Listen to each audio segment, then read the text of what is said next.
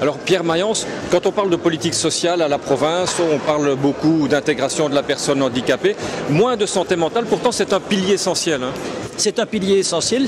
C'est vrai que depuis maintenant plus de 40 ans, la province dispose de 9 services de santé mentale et que tous les ans, elle accueille au moins 4000 patients dans ces centres. Nous avons 9 centres sur l'ensemble de la province. Nous avons des équipes hyper spécialisées, hyper formées et il y a un grand dynamisme vers euh, aussi euh, les réseaux et les plateformes qui sont des lieux d'échange au niveau des problématiques sociales. Nos agents sont ainsi euh, au courant de toute l'évolution et peuvent réagir avec adéquation aux personnes, aux, problèmes qui leur sont posés. Alors on sait que d'ici 2050, c'est ça, à peu près 30% de la population sera âgée de plus de 60 ans. Et actuellement, il y en a très peu, hein, 2-3% qui fréquentent les, centres de santé mentale.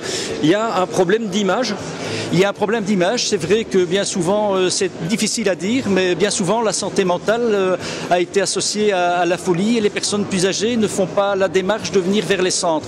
La mentalité est bien sûr différente euh, aux États-Unis, par exemple, où on voit que si on n'a pas son psychologue, on n'est pas bien.